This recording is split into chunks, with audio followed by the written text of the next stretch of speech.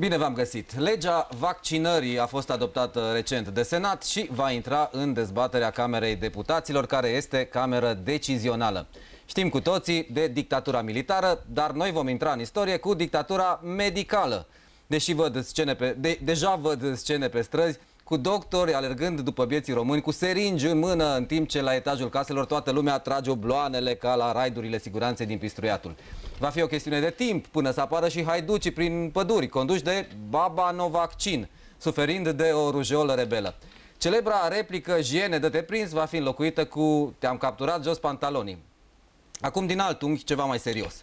România s-a confruntat des în ultimii ani cu crize ale vaccinurilor, mai ales de când Institutul Cantacuzino nu mai produce seruri.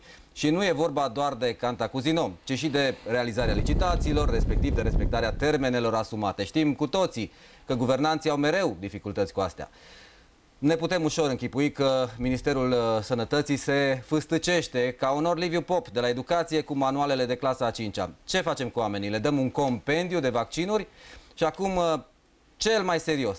Mi-e teamă că legea vaccinării obligatorii este foarte utilă Primii care ar trebui să meargă la injecție ar trebui să fie guvernanții din orice partid or fi, să se vaccineze ei frumușel împotriva incompetenței și a corupției. Despre legea vaccinării obligatorii, despre legile justiției, dar și despre rolul și rostul parlamentarilor clujeni în bunul mers al județului. Vorbim astăzi, sunt Ionel Spuc și vă invit la față în față, live pe TVR Cluj și pe pagina de Facebook TVR uh, Cluj. Am alături de mine o garnitură de deputați, le spun bună seara domnilor Cornel Itu de la PSD, Emanuel Ungureanu de la USR și Adrian Oros de la PNL.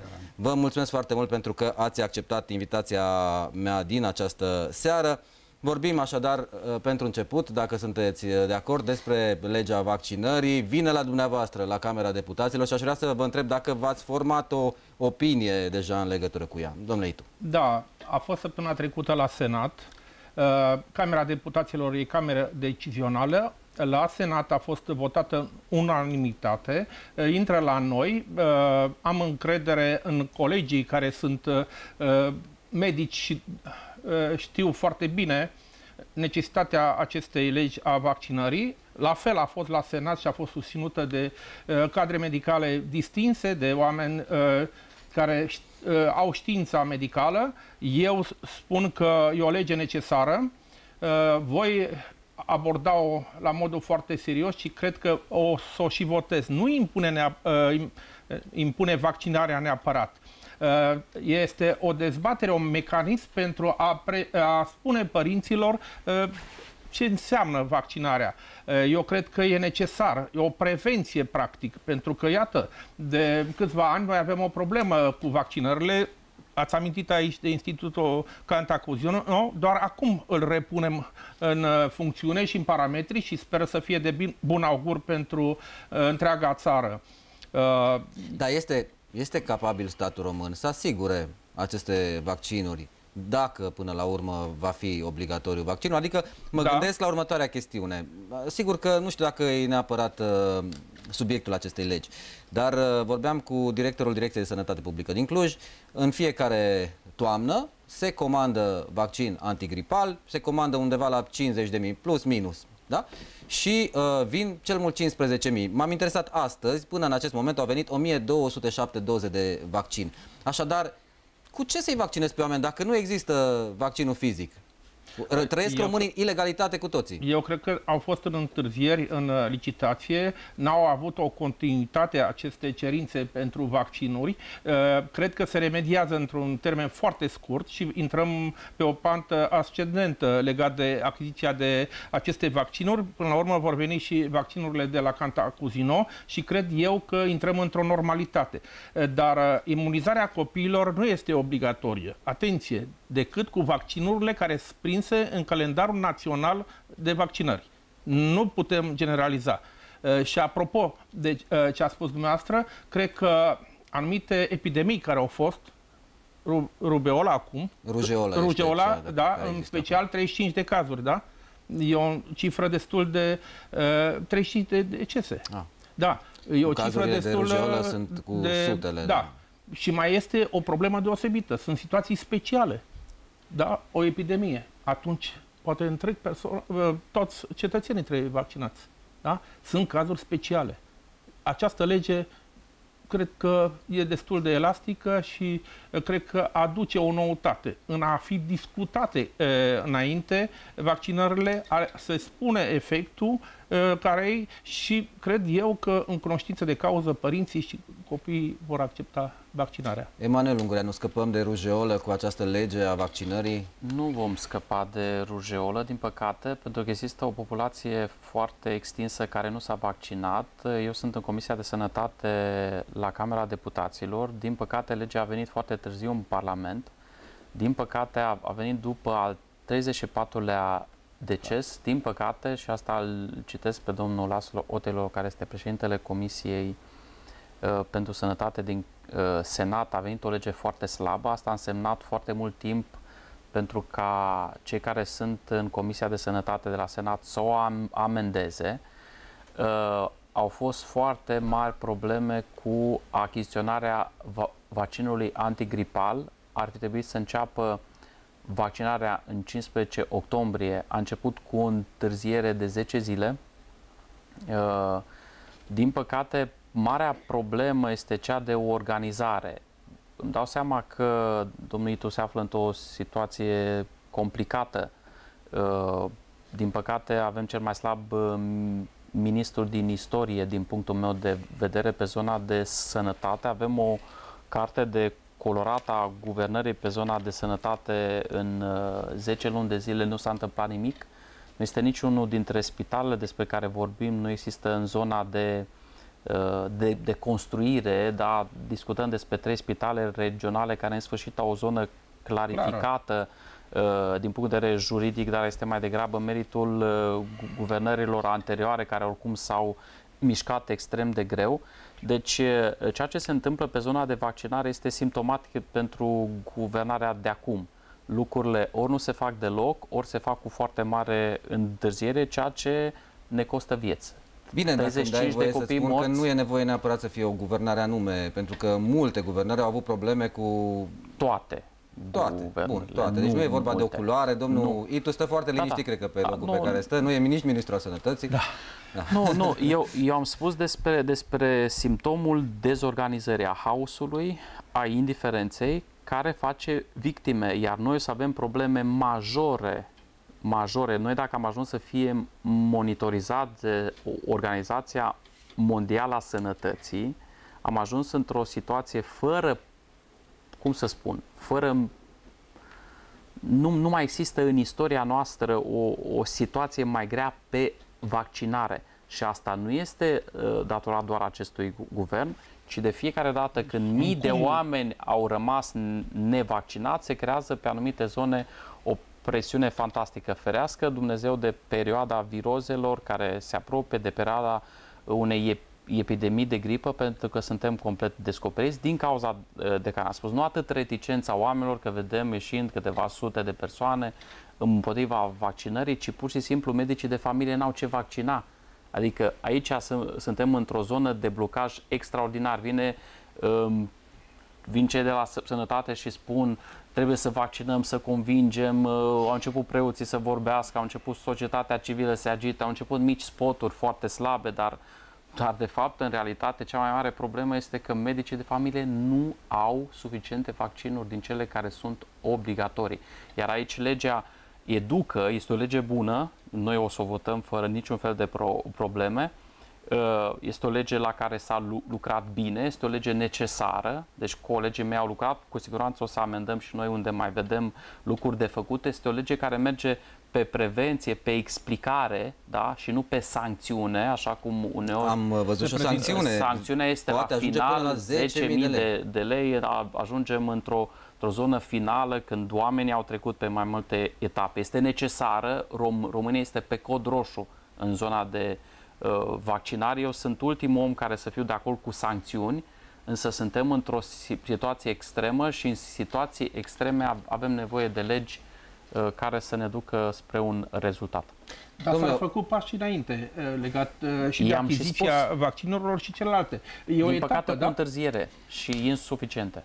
Domnule Orăs, în mod normal, dacă ai un copil care nu e foarte cu minte, mai întâi încerci cu vorba bună și la un moment dat, acum mai puțin, da, pe vremuri era cu joarda, da?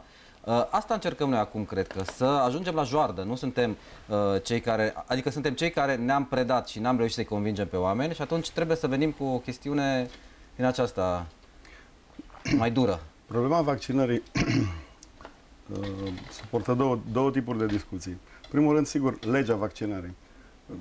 Am văzut în spațiul public discuții dacă este sau nu nevoie de vaccinare. Păi vaccinarea este principalul, uh, principala intervenție medicală care a avut succes de plin atunci când uh, Europa și Mapamondul era bântuită de epidemii și doar așa au putut fi stăpânite aceste epidemii, pentru că nu se recurge la vaccinare decât pentru boli care sunt foarte greu tratabile, foarte costisitoare și cu rezultate foarte slabe. Și atunci se previne. Asta este o chestiune veche. Uh, problema aici se pune nu de cât este de slabă sau de, de, de puternică legea, ci de capacitatea sistemului de a implementa legea. Și exact cum uh, povesteau colegii mei anterior, de capacitatea de a, de a se aproviziona cu vaccinuri, de capacitatea de a urma fiecare punct din această lege, pentru că aici în lege se spune că uh, copiii, sau mai exact părinții copiilor care nu doresc să fie vaccinați, trebuiesc uh, în primul, rând, în, în primul rând, acei copii trebuie monitorizați timp de 3 luni de zile. Apoi se face consiliere cel puțin o dată la 3 luni de zile până obții rezultatul respectiv. Nu vă ascund că mă gândesc și la situații în care în anumite n-aș dori să se întâmple, în anumite clase, în anumite grupări, unde majoritatea copiilor să vor fi vaccinați, părinții celor care și-au vaccinat copiii să fie oarecum împotrivă ca cei nevaccinați să intre în, în, în colective. Trebuie să ne gândim și la acest lucru. Pentru că un individ nevaccinat, că este copil, că este adult, că este animal, nu face, dacă este purtător de boală, nu este decât să păstreze să păstreze uh, virusul respectiv acolo. Deci, acum suntem doar la, doar la început și va trece cu siguranță foarte repede și prin Camera Deputaților. Aproape toți colegii cu siguranță o să voteze pentru că chiar dacă sunt unele împotriviri, orice societate funcționează pe niște reguli, pe niște proceduri și până la urmă trebuie să, să le respectăm. Iar vaccinarea nu, se, nu, nu încape discuție că trebuie făcută. Dar Bun, uh, mi-este frică să... de, de modul cum se va aplica. Haideți să uh, vă pun în discuție o problemă. Am fost în vară la Patarât, da? pe zona cantonului, acolo unde un medic merge o dată pe lună, uh, rugat de Direcția de Sănătate Publică să vaccineze copiii care, uh, pe care părinții de acolo vor să îi vaccineze. Părinții nu prea vor și uh, de obicei merge medicul acela și vaccinează 3-4 copii în condițiile în care acolo sunt sute de copii. Spuneți-mi, cum îi monitorizăm pe copiii aceia? Cum rezolvăm problema de acolo? Există Pentru că patare. poate că într-o clasă, cum spuneți dumneavoastră, la un liceu de centru din Cluj, nu o să fie probleme. Dar nu trebuie să-i excludem din discuție pe cei care au probleme și cei care dau cei mai mulți morți în aceste epidemii. Știți când s-a deschis acolo groapa? Cu 2 ani înainte să mă nasc eu, în 1976. Clujul a făcut abstracție de acea bombă din 1976. Noi nu recunoaștem că avem o problemă reală, nici măcar când avem 28 de incendii, nici măcar când îi punem pe acele... Domnule Ungureanu, ok, sunt de acord. Poate discutăm ceva mai târziu, oricum astăzi păi, Alin Tiș a avut niște declarații referitoare la ce se întâmplă la, la, nu, la groapa de gunoi, la CMIT, care ar putea să salveze situația. Da, vreau să, asta, vreau să discutăm despre, despre oamenii de acolo. Nu, eu nu mă refer la politicieni aici. Oamenii de acolo în eu continuare locuiesc în zona cantonului, deși nu, nu mai au acces Eu mă refer la clujeni. La clujenii, groapa de gunoi. Clujenii, clujenilor li s-a spus ani de zile că este o problemă care trebuie tratată lăsând-o acolo. Deci nu poți să rezolvi problema celor o mie de oameni, o mie și ceva de oameni, lăsându-i lângă groapă. Noi nu i-am integrat pe acești oameni, nu i-am acceptat în comunitate, n-am găsit soluții pentru ei. Nu uitați că eu eram asistent social acum 15 ani, când m-am dus pentru prima dată cu o fundație acolo și am văzut ce locuințe erau pregătite pentru oameni. Erau niște casetuțe din astea cu niște pereți subțiri și pentru acele persoane care trăiau în corturi și în condiții de ev mediu, li s-au părut niște palate. Deci faptul că atunci s-a tras curent, că s-a dus un pic de apă într-un lighean de la o cișmea, Noi tot timpul am privit această populație ca fiind o, o populație sălbatică care nu, nu poate fi integrată. Gândiți-vă că programul norvegian care a venit în pe parteneriat cu municipalitatea a dat o gaură de un milion și ceva de euro când te uiți la rezultate, îți vei da seama că s-au plătit salarii, s-au plătit pizza, s-au plătit uh, niște doze de paste de dinți și oamenii sunt tot acolo, în aceeași mizerie, în același gunoi și medicii care fac asta, asistenții so- sociali care merg acolo, sunt eroizați. Practic, toată lumea care merge la, la Patrăt și mi-amintesc foarte bine că era o mizerie atât de mare când dezbrăcam hainele la ușă pentru că am adus în casă purici și păduchi. Pentru că oamenii aceia trăiau în condiții inumane, iar orașul stă cu spatele la ei. Asta se întâmplă. Ca să continui să vă vin la dumneavoastră, ca să continui să vă relatez din experiența de, de azvar, acolo am cunoscut un consilier sanitar, cred că așa se numește, din partea primăriei, care uh, o doamnă care mergea și încerca să-i convingă pe oameni să-și aducă copiii la vaccin și îmi spunea că nu odată o fugăresc pe acolo. Sigur. Pentru că oamenii nu înțeleg. Sunt sălbatici. Da? Uh, este un uh, patriarhat, chiar dacă mama ar vrea, tatăl zice, hai, S-au întâmplat cazuri în care a venit după mamă Absolut. și a luat-o de păr și a tras-o afară, vrei să-mi omor copilul și așa mai departe. Uh, sigur că educația este cea care poate a rezolva multe lucruri. N-ar trebui o lege a vaccinării, ar trebui o, o lege a educației, să zic așa, dar nu una uh, a manualelor, uh, ci una a, da, una a felului în care să trăim în viața asta. Da. Domnule Eitu, la dumneavoastră. Da, am vrut să spun că monitorizarea acestor, acestei comunități, să spunem, voluntariatul care se desfășoară și colegul care l-a desfășurat și chiar colegul de la USR iar face un voluntariat acolo, dar educația prin școală, obligativitatea de a face școală, da? Dar și de a, uh, comunitatea trebuie să deci implice... ați reușit? Merg copiii ăștia la școală? Adică înainte de a-i obliga să vaccineze, puteți să-i obligați să meargă la școală? Eu vă spun un caz special din Rugășești. Am mers în comunitatea, lângă Deș, am mers în comunitatea de romi, am văzut o căsuță, așa, și erau cu patru copii. Da, m-am dus, am văzut acolo, i-am spus, nu avea, mă rog, mobilă, nu aveau, nu avea baie, așa mai departe. Le-am dat tematică cu condiția să meargă la școală acei copii. Părinții romi i-au dus la școală. După aia i-am asigurat baia, am rezolvat-o după aia mobil, așa mai departe. Mă, mă întorc cu drag la ei și văd ce bine învață la școală. Vorba de o familie. De o familie, Dar sigur. știți câte familii de romi avem în țara asta? Eu știu că nu am Rugășești sunt 700 de romi. Da, îmi dau seama cât este la Patarât. Dar aici ai și comunitatea care trebuie să implice prin primărie. Oricum, aș vrea să precizez că la acolo pe cantonului nu sunt doar persoane de etnie romă, sunt și alte da. uh, etnii acolo, inclusiv români, așa că nu cred sunt că neapărat acord. se adresează doar romilor discuția noastră. Cred că trebuie să implice mai mult uh, comunitatea locală, prin primărie, prin uh, Consiliul Local, prin uh, voluntariatul care anumitor uh, ONG-uri și cred că trebuie să nu îi îndepărtăm, trebuie să-i apropiem și să le demonstrăm că îi putem integra, sigur, cu efortul lor, în primul rând, să meargă la muncă, să muncească, să știe cum se câștigă un ban, așa mai departe. De câți dintre cei care sunt în acest platou și-ar dori să aibă vecini uh, o familie de romi? Asta este în, întrebarea la care clujenii răspund foarte re, reticent. reticent. Este motivul pentru care politicienii de-a, de lungul timpului n-au făcut niciun pas iasă din populism. Da, și e limpede că nu. la Florești uh, și la Apahida, acolo unde au primit locuințe sociale persoane de etnie și la romă, s-au, s-au întâmplat uh, niște proteste.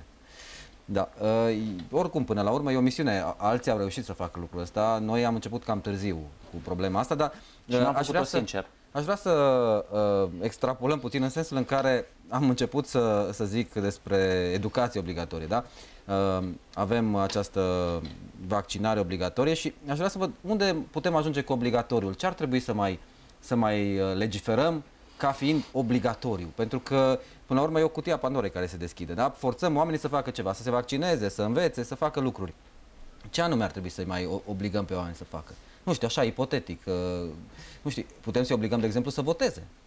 Da? Cum ar fi să-i obligăm pe oameni să voteze? Uh, eu am uh, considerat și am început uh, mandatul de parlamentar uh, cu declarații în acest sens că ar trebui să uh, vorbim cu cei 60% dintre cetățenii care nu se implică la vot, explicând că la începuturile democrației, în Atena, cetățenii erau implicați, uh, erau uh, uh, împărțiți doar în două. Cetățeni cu drept de vot și idiotes. Oricât de dur sună, uh, oamenii care stau cu spatele la țara lor și totuși, totuși beneficiază de ce se întâmplă bine sau mai ales de ceea ce se, se întâmplă lor, sunt cei care ne, ne decid destinul și celor care ne implicăm.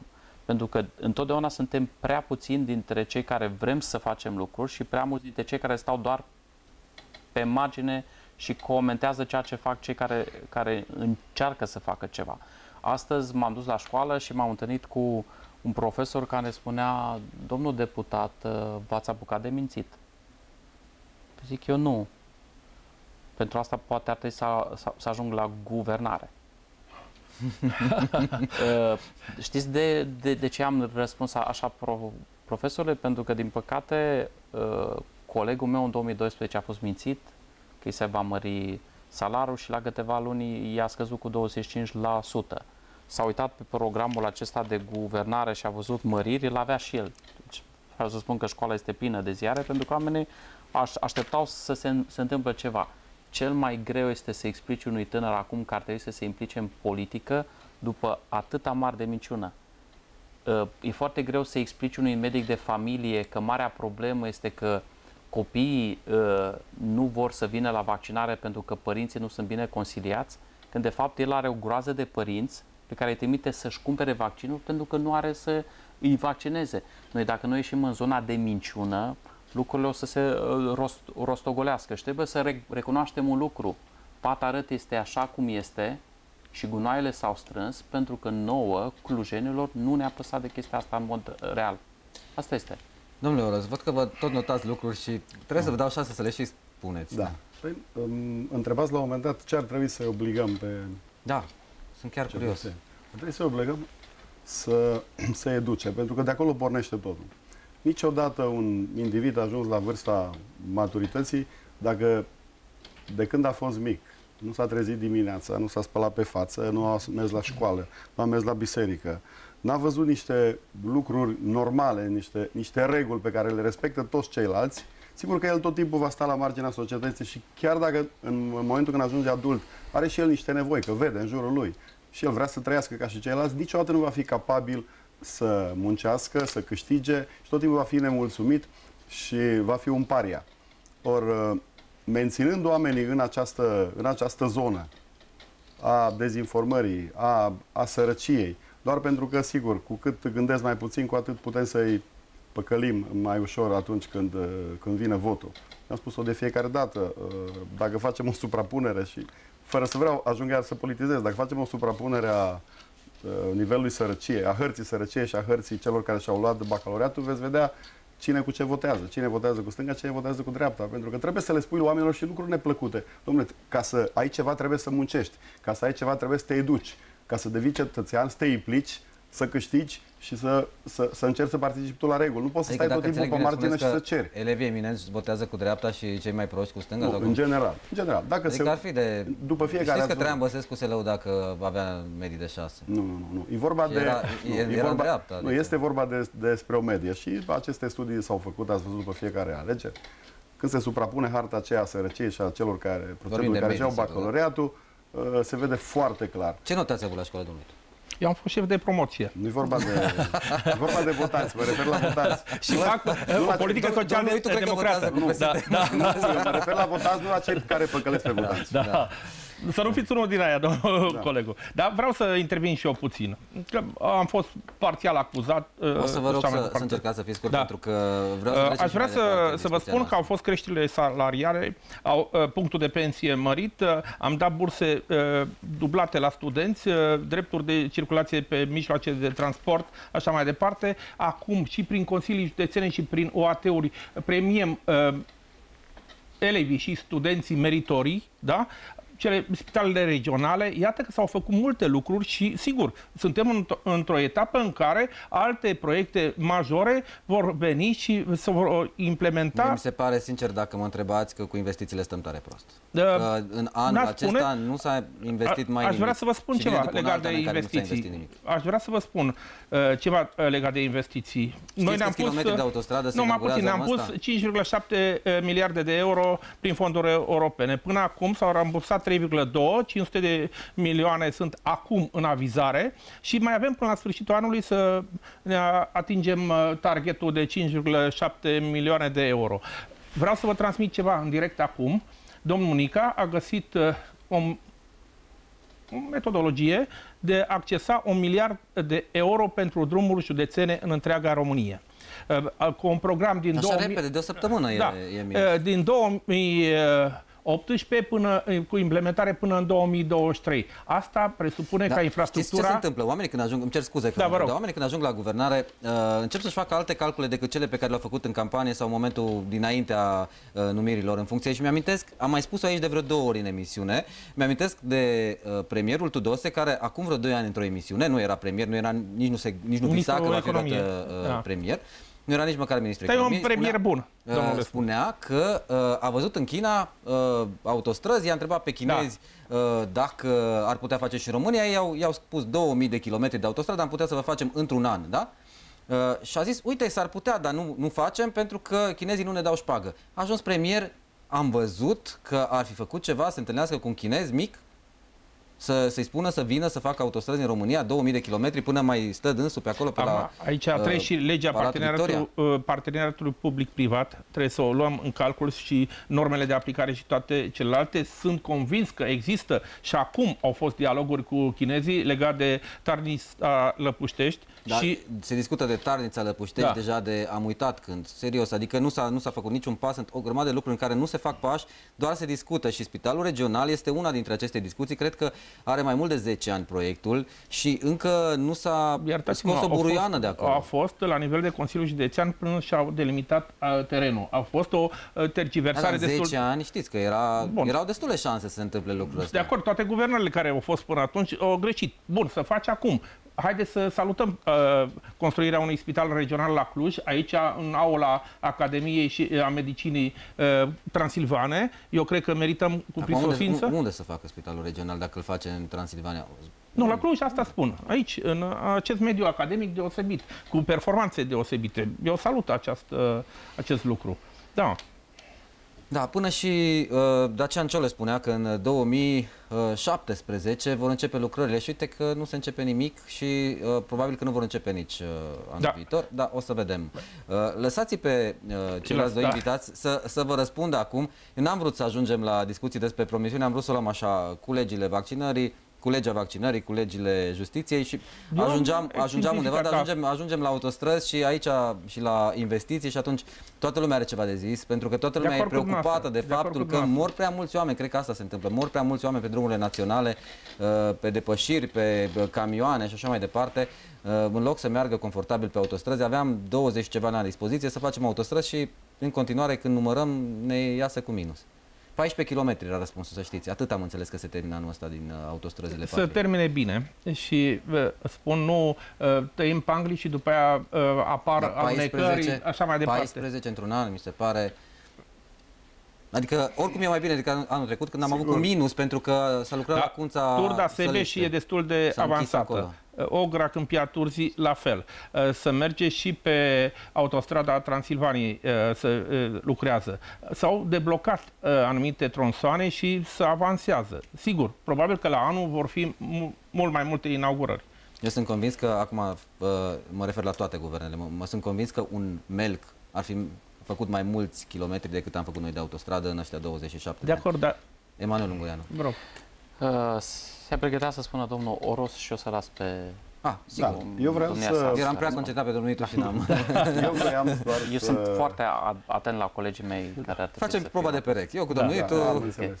Nu, eu vroiam doar să sumez un lucru, pentru că, vedeți aceste anunțuri, că domnul Nica a găsit, doamna Lia Olguț a spus, de peste un an de zile, dar și înainte, asistăm la o guvernare de aceasta la televizor, în care se anunță uh, pentru, sigur, pentru cei care cred sau încă mai cred, se anunță tot felul de lucruri, dar aceste lucruri nu se prea întâmplă. Pentru că dacă ne gândim la acel program de guvernare care nu era decât niște promisiuni electorale, într-adevăr foarte exacte, cu date precise, vom crește, vom face, vom scădea, nu s-a întâmplat aproape nimic, mai mult, ceea ce este foarte grav și confirmă chiar un raport de astăzi, care azi a, a fost făcut public al Comisiei Europene după vizita din septembrie, că practic este compromisă stabilitatea economică a României după acest an de guvernare.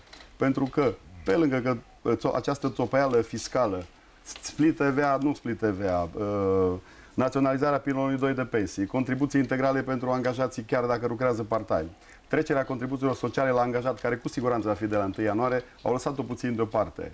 Apoi acea uh, taxă de solidaritate pe care domnul uh, Mișa ne-a spus-o exact la câteva ore după ce domnul Drag ne-a spus că nu se pot mări pensiile de anul viitor și nu este gata legea pensiilor, a venit cu acest anunț ca să ecraneze uh, anunțul domnului Dragnea. Astăzi, uh, surpriză, doamna Lia Alguța Vasilescu ne spune că totuși este gata legea pensiilor. Deci, vedeți, uh, acest, această țopăială și acest, uh, practic, teatru de prost gust care se face doar la televizor, în timp ce în economia reală se întâmplă lucruri foarte grave. Și mai ales mediul privat, pentru că mediul privat este cel care este afectat și care va suporta toate aceste bâlbăiele ale, ale guvernării. Pentru că deocamdată uh, bugetarii care au primit ceva măriri încă nu simt. De, de anul viitor o să simtă și, uh, și bugetarii, sau... pentru că acea mărire de 25%, în momentul când se va trece uh, contribuția la angajat, Uh, cu, uh, cuplată și cu rata inflației, nu va fi, o, nu va fi 25%, va fi undeva, undeva 2-3%. Uh, despre asta, despre asta este vorba.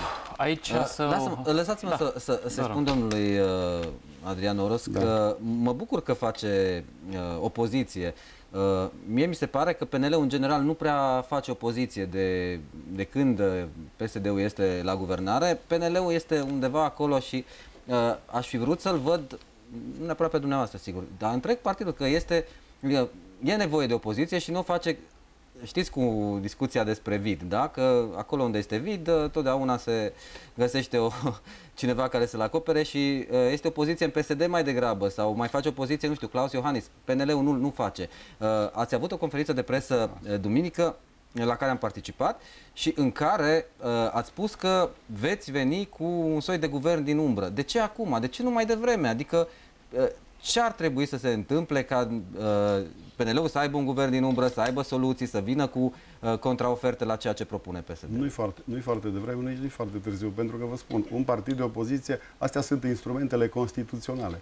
Să monitorizeze activitatea guvernamentală, să critice acolo unde este criticat, să vină și cu propuneri constructive și în paralel să-și pregătească Mulțumim. un program de guvernare și o echipă. Dar nu poți să vii cu, cu ele acum. Acum, deocamdată, monitorizăm ceea ce face PSD. Au trecut doar un an de zile și de fiecare dată noi am spus asta nu este bine, asta nu este bine. Că Eu n-am prea văzut asta, vă zic, că domnule Spuc, văzut. domnule Spuc, acum ajungem, da. că noi nu prea ajungem pe televiziune, în afară de televiziunea uh, publică. Mesajul nostru nu prea iese Eu pe promit, televiziune. promit să vă invit.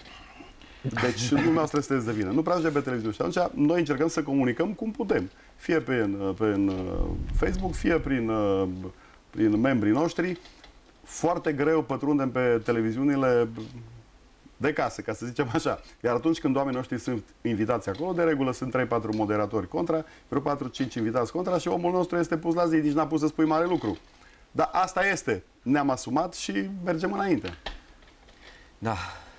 Aș vrea o replică la colegul meu și vreau să-i spun că totuși s-au făcut, s-a mărit salariul minim pe economie, deficitul e sub 3%, creșterea economică de 5,8, avem premisele unui an bun. Că și nu uitați, da, nu, să nu uitați serios. că avem un an agricol de excepție. Dacă îmi dați voie să dau două... Vă rog să dați. Două Eu fiind agricultor, la, da. Chiar vreau uh, să răspund uh, punctual la agricultură. Da. Avem probleme cu agricultura? O să, o să răspundem și la agricultură, cum ne bucurăm de, de producții la hectar ca Vrean lui Ceaușescu și cu o, osanalele aferente, curge uleiul pe stradă, da, și tomatele românești. lapte da. și miere. Am primit o invitație de la domnul Daia, cel cu aia, să merg uh, ca membru al Comisiei de Sănătate, nu știu ce să fac la Romexpo, să mănânc și eu oi. Uh, ce este cumplit, este cumplit și sunt într-o situație uh, absolut jenantă când văd programul de guvernare care exista pe aceste ziare care au ajuns la oameni. Programul de gu guvernare este aici. Uitați-vă, o să dau nu știu la ce cameră. Uitați-vă, Spitalul Republican Carol Davila va fi mai mare decât Spitalul General AKH din Viena. Deci, un proiect faraonic care ți ia ochii, când de fapt, la nivelul spitalelor locale, regionale, nu avem niciun spital început nicăieri în această țară. Absolut niciunul. Deci în 10 luni de zile, nu 8 spitale, nu spitalul republican, nu avem nimic construit de la zero. Avem un coleg în Comisia de Sănătate din PSD. Ori avem o relație absolut uh, decentă, domnul Buicu, care are o lege pentru tuberculoză, și există acum o petiție pe Facebook, 13.000 de persoane care au această af- afecțiune se tem că la anul nu vor avea medicamente și sunt înspăimântați de asta și fac petiții și se adună. Oamenii aceia des- pentru care facem o lege ca la legea vaccinării, care fi o lege foarte bună cu care noi sun- suntem de acord, nu vor avea medicamente și, și spitale. Deci dacă am vorbit mai puțin și ne-am organizat mai bine, eu sunt dispus uh, ca pe orice măsură din acest program de guvernare să dau mâna cu PSD-ul, dacă oamenii vor avea 1200 de euro salariu minim pentru medic, dacă se vor reabilita 150 de ambulatorii, dacă va exista o ambulanță sau suficient, uh, suficiente ambulanțe măcar în oraș, aici scrie o ambulanță în fiecare com- comună. Adică trebuie să ieșim din, din minciună. În Craiova, în aceste zile, la 30 de kilometri de Craiova aș așteptat o persoană, ambulanță, o oră jumate și s-a exsanguinat. Pentru cine nu înțelege termenul, i-a curs sângele până a murit. Eu am un tânăr din Cluj care a murit între timp, Ovidiu Marchi, și are un nume acel om, care a chemat ambulanța în zorilor în Cluj, nu în vreun sat din apropiere și a venit după o oră jumate și a avut nevoie de îngrijire nu numai el, ci și mama lui care a leșinat a leșinat de spaimă că copilul îi moare în chinuri și nu mai vine am, ambulanța. Avem ambulanțe în România care are peste un milion de kilometri. Da, dar știți că acum s-a... S-a, s-a după ce? După ce domnul Arafat și domnul Bodoc se certau la televizor... A intervenit premierul și pe trei ani pe să aducă licitație. Dom'le, sunt oameni care pe care îi întâlnesc în Parlament din PSD și mi-e jenă de dumneavoastră, un om de bun simț și un om cu, cu un discurs echilibrat, cu școală bună, colegii dumneavoastră din PSD, din alte zone ale țării, îmi pare foarte rău. Discutau între ei speriați, am, am văzut un ministru, nu este elegant să-i dau numele, că am avut o discuție privată, care ne spunea, domnul Ungureanu, noi n-am avut niciodată un guvern atât de slab. Deci sunt oameni care îl plâng pe domnul Ponta, do, domnul Ponta care este, uitați-vă aici, pe pro, programul de gu, guvernare este pe prima pagină, uitați-vă aici, sub domnul Dragnea, da? Între timp nu mai are așa o poziție Și între da. timp spune că domnul Dragnea, care este deasupra lui, este un șef a unui clan mafiot. Ne vor, vorbește despre bucăți din România care s-au vândut sub colegul lui, iar el s-a așezat pe acest...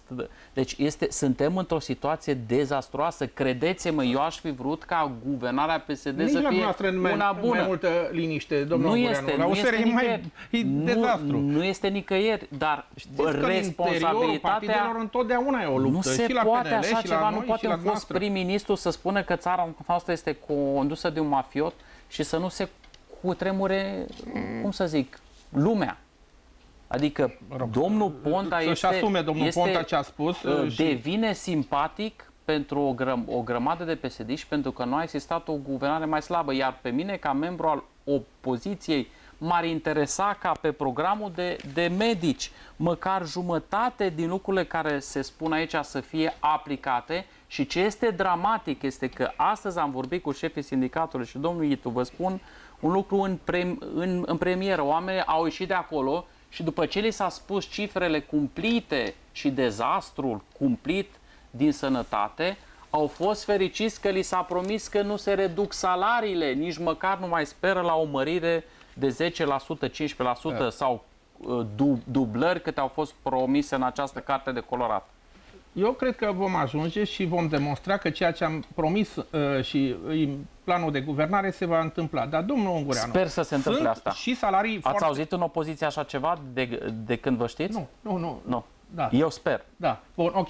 Dar știți, în, la ambulanțe și uh, la asistenții de pe ambulanță, la șofer, salariile sunt mai mult decât decente. Sunteți da, da, sunt prea puțini, sunt la 50%. Eu am, eu am mers la cei care erau pe ambulanță aveau brâuri. Deci oameni la 45 de, de ani, șoferi care, grele, care, care targa, da. pentru că nu sunt suficienți oameni. Da, de acord cu dumneavoastră. Aici sunt de acord cu dumneavoastră, că mai trebuie și întinerit și mărit numărul de personal de pe ambulanțe, de pe cei de la ISO, așa mai departe. Dar Știți că, și trebuie să recunoașteți aici că premierul Tudose s-a implicat în acest diferendum între domnul Arafat și cei de la Ministerul Sănătății. N-a fost Dar bodoc, e posibil așa ceva? N-a fost bodoc de vină. Știți dumneavoastră cine a, fost, cine a fost de vină acolo, nu o mai nominalizez. Iată că printr-o decizie comună s-a luat, s-a dat pe trei ani ambulanțe, parcă nu rețin numărul, ambulanțe noi. În, în care? Încă suntem în zona de, a, de achiziții, de, încă nu suntem uh, în zona de, nu știu, poate ține domnul prim-ministru. Da. De achiziții, da. da. Suntem în fața de achiziție, dar încă nu au răspuns acei fun- funcționari din minister. Este inadmisibil că cele două Va doamne... fi o anchetă păi ulterioară. Nu o anchetă, va fi da. o plângere penală a da. mea la DNA, o spun în premier aici, care se va lăsa cu o anchetă să vedem cine sunt cele două doamne și cine a fost în spatele lor. Noastră. Cine a greșit nu să se... plătească, pentru că să viața unui om... ani o licitație? Și de o secundă depinde, de multe ori, da? Și atunci tot respectul pentru cei care desfășoară această muncă și cei care au uh, făcut uh, acest, uh, hai să zicem, această sincopă, au produs, să plătească. Domnule Adrian Oros, Vă las prima să încheiați partea asta, că neapărat vreau să ajungem după aceea la da. legile da. eu vroiam, justiției. Eu vroiam să, să fac uh, trimitere la declarația Hazlie. Iată, o altă declarație Hazlie pe care, cu care domnul Daia ne-a obișnuit. Uh, pentru că dânsul la Integra astăzi, uh, unde și-a lansat și programul Alegeți Voia, a făcut niște afirmații. Rimează cu Daia. Da, a făcut niște afirmații, uh, aseară am înțeles pe una din televiziuni, privind uh, marile producții care s-au obținut anul trecut. Dar sigur că este ilar ca tu, ca tu ca ministru să vii să te lauzi pentru că anul acesta a dat Dumnezeu și a fost o vreme bună și că oamenii au ieșit la muncă și au făcut treaba. Și a venit uh, domnul Dragnea cu o explicație, sigur, dânsul neștiind despre ce e vorba, a mușcat uh, informația de la domnul Daia. Aceste lucruri s-au, s-au întâmplat pentru că s-au plătit la timp subvențiile. Și eu vreau să le reamintesc colegilor mei și tu, în 2013 eram membru în, în, al Parlamentului și atunci am atras atenția 2013-2014 că PNDL-ul a venit, Programul Național de Dezvoltare Rurală a venit cu 358 de neconformități. Au fost scrise de către guvern 358 de neconformități. Că niciun ghid, la începutul guvernării bă, tehnocrate, niciun ghid prin care se acordau aceste subvenții nu era scris. Softul era blocat de domnul Ghiță pentru că toate softurile pe care API a dădea acești bani și AFIR-ul erau ale achiziționate de domnul Ghiță și în, în acel an de zile, acel guvern tehnocrat a refăcut toate astea, sigur, nefiind un guvern politic, n-a știut să-și asume politic meritele. Și tot ceea ce face domnul Daia anul acesta este meritul muncii celor care, celor care au muncit anul trecut. Sigur că e foarte bine că se întâmplă așa. Dar să, dar, să vii, dar să vii să-ți asumi faptul că a plouat anul ăsta și a fost vreme bună, faptul că ceilalți dinainte ta au muncit și să-ți asumi acest lucru, când deficitul deficitul comercial, pentru că de, în așa, așa se măsoară munca unui ministru, deficitul comercial pentru anul acesta în agricultură este de un miliard. Un miliard de euro. Adică noi exportăm mai puțin cu miliard decât importăm produse agricole. Asta e măsura capacității unui. Nu faptul că ies oamenii la muncă și că Dumnezeu dă vreme bună. Aveți date și de ce, ceilalți ani, să vedem, uh, domnul deputat. Păi dacă, a crescut, a crescut cu 17% a importul. Crescut, da și a crescut exportul doar cu 4,5%. Da, avem date. Că... Bun. De regulă vorbesc pe date. Că e... e democrație aici. Vorbim puțin despre modificările da. la legile justiției. Aș vrea să, să vă cer uh, părerea. Aș vrea să discutăm puțin și de recursul compensatoriu. Dacă Dacă îmi dați voie, dacă îmi dați voie înainte de toate, uh, domnul Lespuc, aș vrea să se uite cei de la cameră și să-mi arate dacă găsește pe una dintre paginile pe care le, le vedeți aici, dar pe oricare. Deci o să vă rog să vă uitați pe fiecare pagină, durează 10 secunde. și le, și le spun telespectatorilor. O, o să vă rog dacă, dacă am deplină încredere domnul Lescu, dacă găsiți vreun rând despre legile justiției în programul de guvernare. Deci eu am, cei din, din PSD n-au vorbit nicio secundă despre vreo modificare a legilor justiției, nici da, a fost un singur rând. Asta, nu? Știm că după două săptămâni de la, de, de la 10 instaurarea luni, Asta este cea mai mare problemă.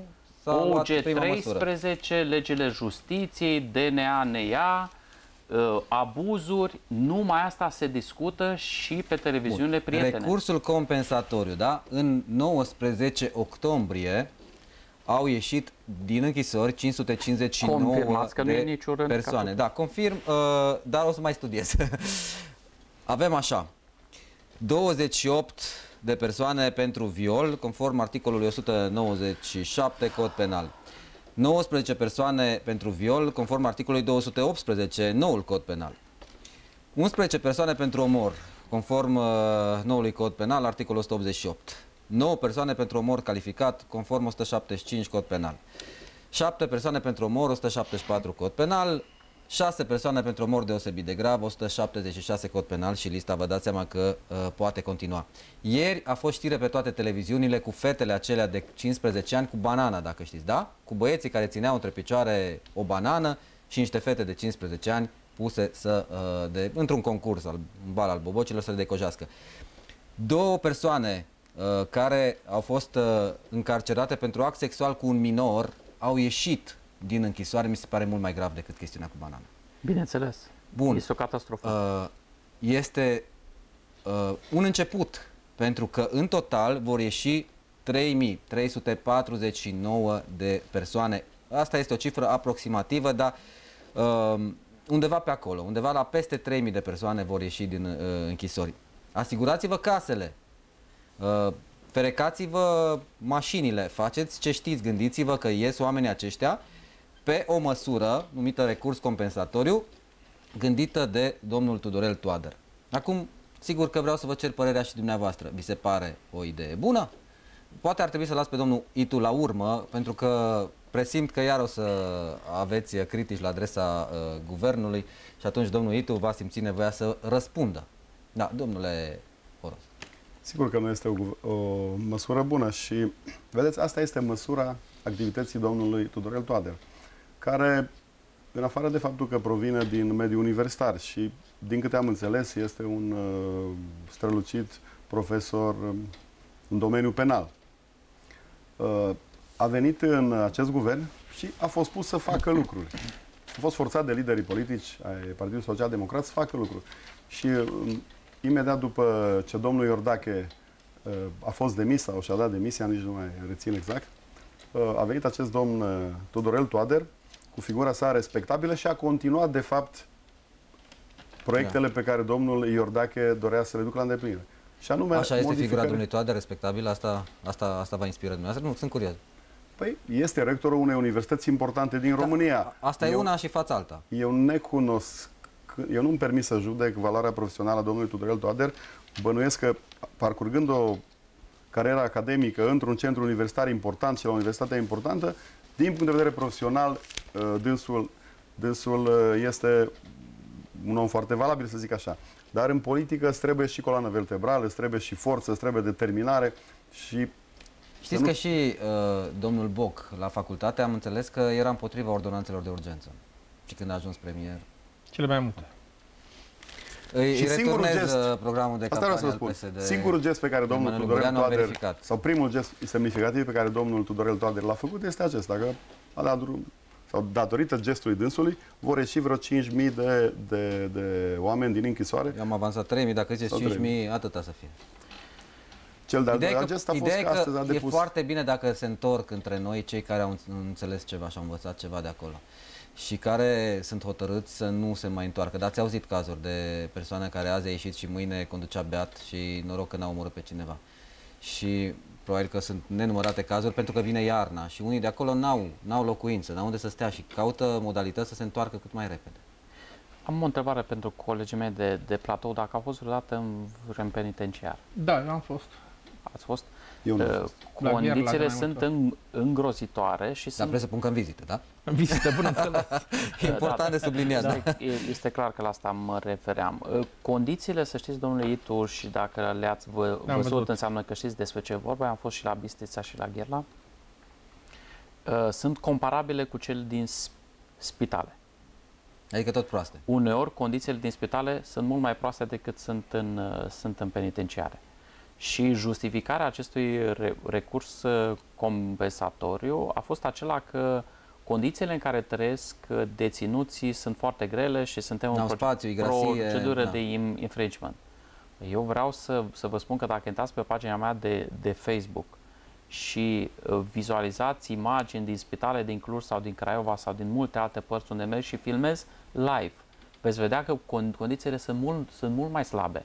Problema este că deținuții acum cu această uh, măsură absolut incredibilă, absolut debilă, absolut dementă, să scoți oameni fără niciun fel de, de uh, proces de reabilitare, fără niciun fel de certitudine că acele persoane uh, pot să se întoarcă în societate în condiții de siguranță și pentru ele sunt oameni care nu se adaptează la societate și fură sau dau în cap la cineva să se întoarcă în același loc pentru că acolo au de bine de rău o, o masă caldă care, atenție, este mai bine remunerată decât, uh, uh, decât în spitale. În spitalul uh, județean, rata pe zi pentru un bolnav este de 110 lei.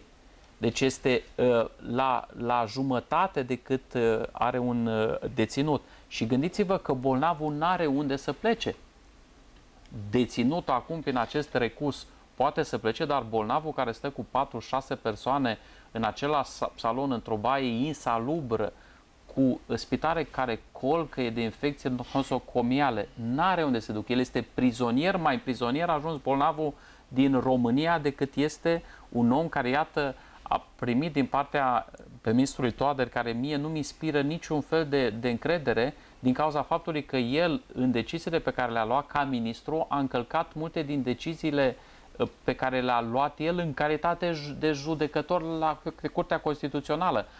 Apropo de domnul Boc, care după ce a scris lucruri despre Constituție, când a fost să le aplice, a făcut-o din două în două.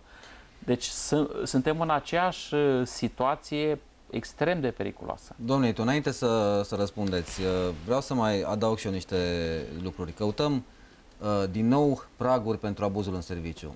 Asta în ciuda faptului că, vedeți, Comisia de la Veneția a spus oficial, foarte limpede, că nu este vorba despre praguri financiare. Este vorba de bani acolo. Apoi, n-am auzit nimic despre recuperarea prejudiciului. Uh, facem uh, modificări la legile justiției, eu n-aud nimic de recuperarea prejudiciului și cred că asta pe toți ne frământă pentru că oamenii care sunt acuzați de fapte de corupție duc acasă, bagă în bănci Uh, trimit în Cipru sau în alte paradisuri fiscale sume uriașe din banii pe care am muncit noi. Și asta e o chestiune pe care eu nu o înțeleg. Da, aș vrea să spun uh, legat de domnul ministru Toader că a fost membru al CCR-ului, e rector, uh, e un om profesional foarte bine ancorat Eh, poate că a luat aceste decizii și sub presiunea CEDO, că la CEDO au mers foarte mulți deținuți și au câștigat procese, atât legat de magistrat, dar și de condițiile din penitenciare. Sigur, aici trebuie o analiză uh, amănunțită și cred eu că timpul Da, să... e deja în Parlament cu propunerile, domnul... Nu, nu, eu mă refer la uh, recursul compensator. Ah. Da, aici. Aici o să vedem efectele... Da, da, scoțând oameni din închisori nu se îmbunătățesc condițiile. Uh, Domnule Ungureanu, haideți să lăsăm pe domnul Itu. Îmi pare rău, avem un minut, atât mai avem și vreau să vă domnul Itu ca, da. să, ca să nu rămână fără răspuns. Uh, ar trebui construite și noi, uh, pe, penitenciare noi. Se lucrează la acest... Uh... Se fac, vă spun eu, când se fac și spitalele regionale? Cândva? Da, e, e posibil. Uh, legat de recuperarea prejudiciului, sunt de acord. Cred că trebuie să intervenim aici, legislativ, și să gândim uh, acest uh, lucru, pentru că mulți își uh, trimit averile uh, peste hotare, așa, și rămânem doar cu... Uitați, vă, vă rog eu frumos, când se discută legile justiției, urcați la tribună, și spuneți-le colegilor noastre din PSD că dumneavoastră vă doriți chestiunea asta și noi de aici ne dorim chestiunea asta să da. se recupereze prejudiciul. Cred că și în comisie. Acolo se dezbat foarte mult și acolo vom... Uh, nu, dar acolo vă putem vedea noi. La tribună da. vă vedem noi și știm că... Să zic că președintele Comisiei Juridice este, este domnul Iordache. Da, un uh, om uh, pe care îl cunoaștem cu toții de la UG13. Lăsați speranța aici.